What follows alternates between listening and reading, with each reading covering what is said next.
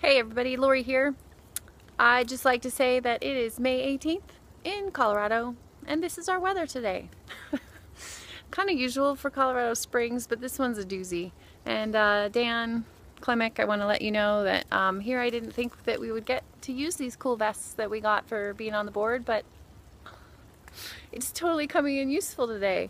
I don't know, this is insane kind of stuff. Um, it's really wet and my poor uh, aspen tree right there is not doing very good. So hopefully everything comes out of it okay. But um, hope you guys are all enjoying the snow if you're in Colorado. It is beautiful, but it's certainly heavy and super wet.